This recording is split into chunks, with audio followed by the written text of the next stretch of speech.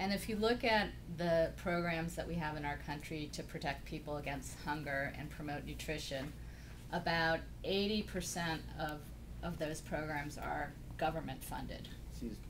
Programas que tiene el país en Estados Unidos para, para eh, luchar contra la desnutrición y, la, y el hambre, más o menos el 80% vienen con fondos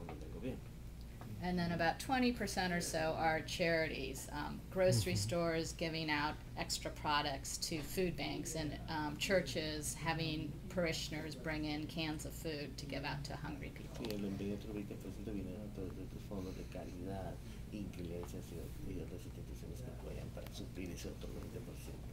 So what we work on at DC Hunger Solutions are the government programs, making sure that our government is using these programs and connecting schools, churches, and individuals to the resources to purchase healthy food. Sí, ellos lo que trabajan aquí en DC Hunger es en, en vigilar que lo- los fondos que Claro. el gobierno lleguen hacia que tienen que llegar. Os hacen auditoría social. Sí, auditoría social de los programas. tenemos un tema de auditoría social, en el que llegue lo que el gobierno da para lo que se dé para, se dé para lo que se necesita eh, en los temas de nutrición. And when you were talking about the problems associated mm-hmm. with lack of nutrition in Guatemala, we have similar problems here.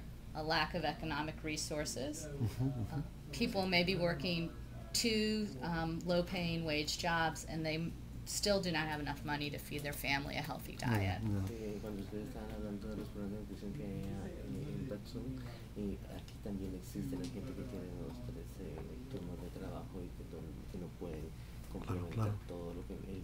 Todo lo que, el dinero que necesitan, como pasa en Patzún, para eh, poder Alexander, alimentar a sus okay? familias. Yeah, that's fine.